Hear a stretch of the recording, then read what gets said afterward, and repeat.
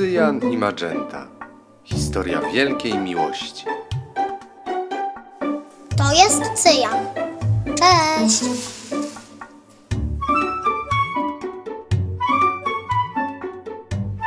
A to jest, magenta. Cyjan kocha magentę. A Magenta kocha Cyjana.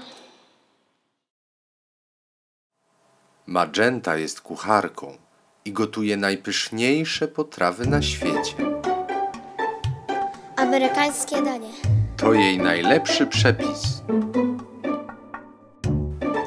Super amerykańskie danie. To wersja udoskonalona. Tort królewski.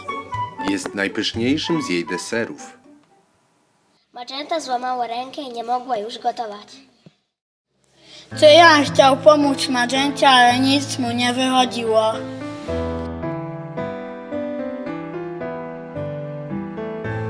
Nie poddawał się i próbował.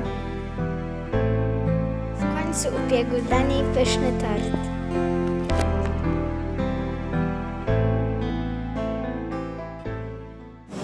Magenta była zachwycona jego smakiem.